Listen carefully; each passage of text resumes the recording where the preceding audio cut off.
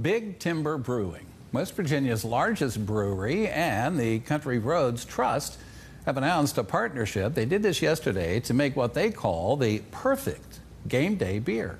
How you like that? The Country Roads Trust is an organization that helps compensate WVU student athletes for their name, image, and likeness.